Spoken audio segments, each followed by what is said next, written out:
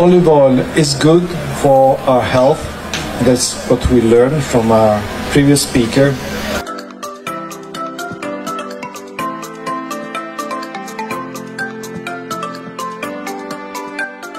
I'm very happy to be here today at this Olive Gala.